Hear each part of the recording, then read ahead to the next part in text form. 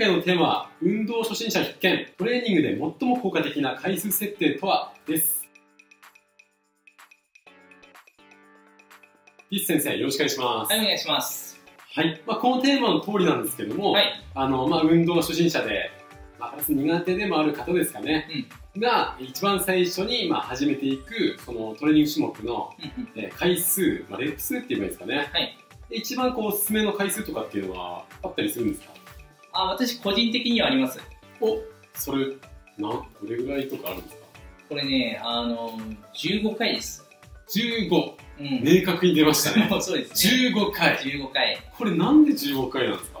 これ理由がありまして、はまずよく言う10回ギリギリでやるっていう方法があるじゃないですか。いうんでも10回ギリギリでまずフォームを維持できないんですね。なかなかあであればもうちょっと軽くしてあはちゃんとフォームができるあの回数、まあ、重さでいうん。ある程度回数積んであげたいっていうところとはいはあとはあの神経系統なんですけどもいね最初神経に覚えさせたいんですね経験値として、あー筋肉の前に？うん。まあ、神経そうです。神経に覚えさせるっていうのはすなわち聞かせることを覚えさせるっていうことなんですけども、へえまあ、10回より15回動作を繰り返した方が経験値積むじゃないですか。確かにそうですね。そうですよね、うん。でその時に正しいフォームでできていないと意味がないですよね。はいはいなので、まあ、10回とかギリギリではなくて、まあ、うん15回余裕を持って、うん。あのフィニッシュできるぐらいで私は最初おすすめしますね。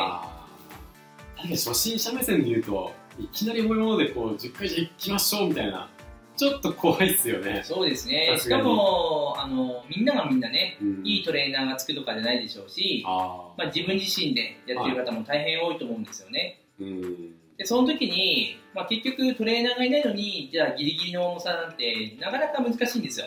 うんそうですねなんで15回もある程度こう気持ち的に余裕を持って15回丁寧にやれる重さにチャレンジしてもらうことが、まあ、私は一番おすすめかなと思ってます。なるほど、うん、15回をやっていくと、そうですね。えーまあその根拠としてはその神経系統をまず慣れさせるそうですね。神経系統を慣れさせるっていうことが、まあ、重要かなあっていう。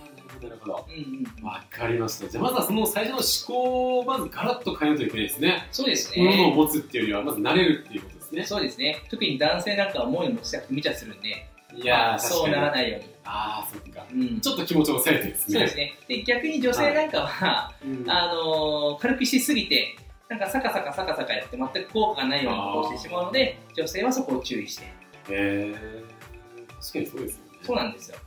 うん。わかりましたやはり今日動画見ていただいている方もですね15回っていうのをちょっと覚えていただいて、うんうんうん。ちょっとぜひまあいいフィットネスライフを送っていただければとそうですね。思いますよねうん。わかりました今回 B 先生ありがとうございましたはい、ありがとうございました。